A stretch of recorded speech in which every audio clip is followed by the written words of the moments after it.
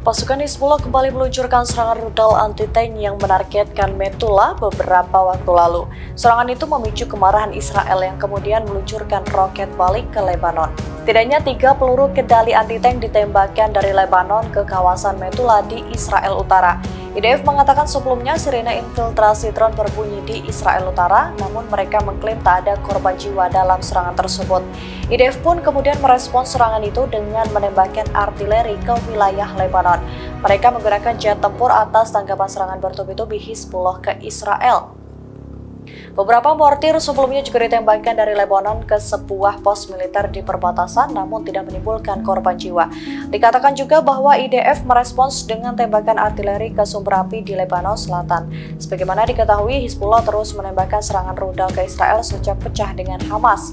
Setidaknya lebih dari seribu rudal menghujani Israel sejak 7 Oktober 2023. Download Tribun X sekarang. Menghadirkan lokal menjadi Indonesia.